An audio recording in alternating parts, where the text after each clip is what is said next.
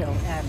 The story new at 6 tonight. It's been a year since a family of immigrants from Senegal died in a house fire. Five people there were killed in this arson. Well, months later, police arrested teenage suspects, some younger than 18. They're charged with arson and murder and are now awaiting trial. While the court process plays out, friends and coworkers of one of the victims are creating a scholarship in his honor. CBS 4's Dylan Thomas joins us live tonight on the campus of CSU in Fort Collins.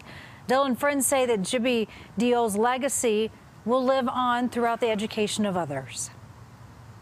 Yeah, Jibby was actually named an outstanding grad here at Colorado State University back in 2018. He was known for his infectious smile, his great attitude, and a really memorable handshake. His dream was to take what he learned here at Colorado State University and to apply it back home in Africa. Though his dream was cut short, his mission would not be.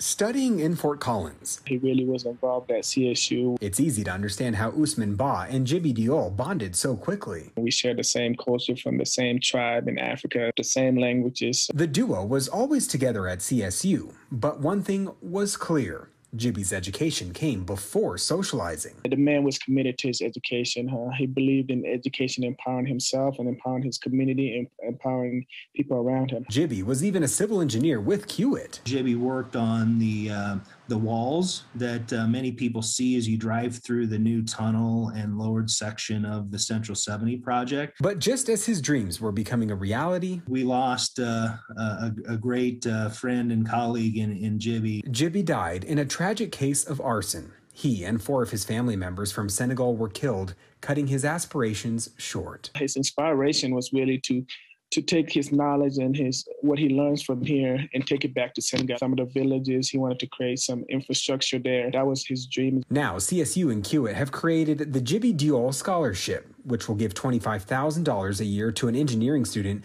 who values service, education, and takes pride in impacting others' lives, just like Jibby did having those live on through through other college graduates, I think would be very beneficial. Hopefully, uh, his legacy lives forever, and that's really what we want to carry here with this scholarship.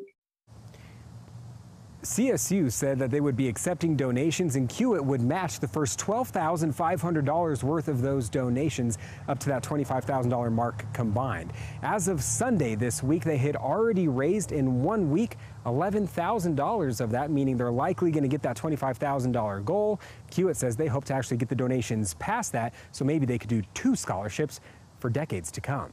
Reporting live at CSU, Dylan Thomas, covering Colorado First. Uh, just a beautiful thing.